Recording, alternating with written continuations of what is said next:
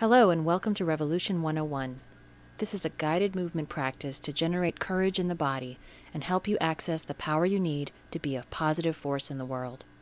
We're each called upon to take actions that will contribute to a culture of justice and sustainability, and this takes immense courage. There are so many forces that make change difficult, including those from without and those from within.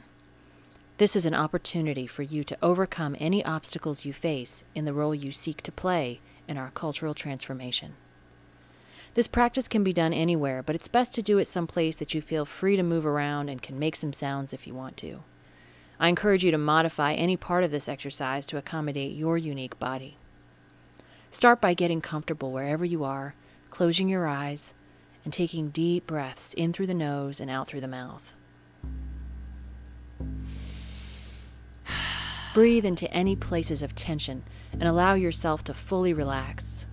With each inhale and exhale, your awareness is inhabiting more and more of your physical presence.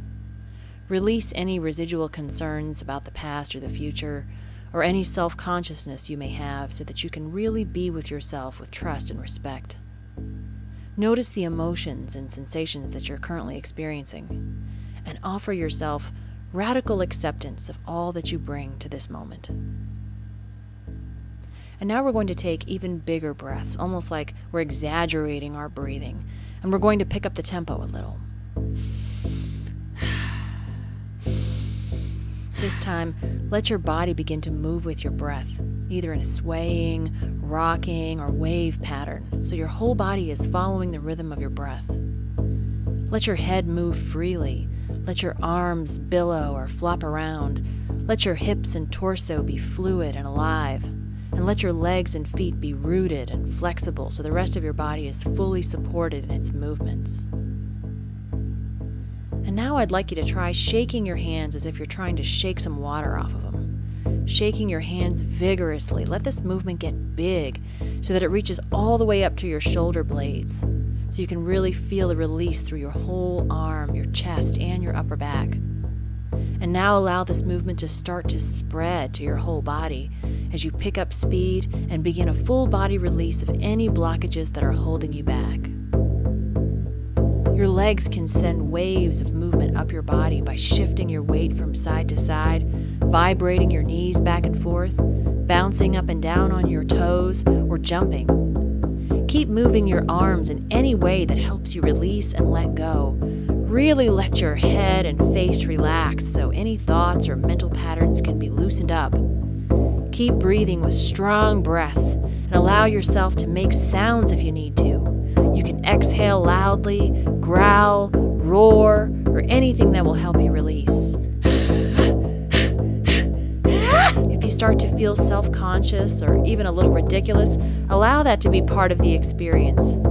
This is your opportunity to release and let go of any fear, anxiety, or worry that you no longer need. Keep seeking and releasing deeper and deeper layers of fear so that as you let go of one layer, you can go on to the next layer until you feel fully alive, fully energized. Awaken your wild animal body and fully surrender to it. Feel the power of the earth, the power of the land coursing through you, giving you strength. You are shaking free from all constraints and letting this power take over your body. Feel yourself as the force of nature you are, here to embody your highest vision for the world. Take one last moment to give it your all. Hold nothing back.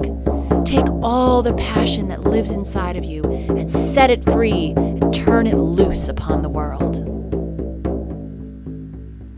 now gradually coming to rest, your body again comes to stillness as you integrate this experience.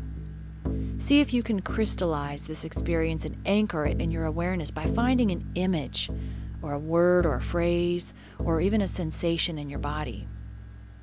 I encourage you to take a moment afterwards to find some paper and write down any words or images that you might want to remember in the future. Thank you so much for joining me. I wish you great courage in your offerings to the world.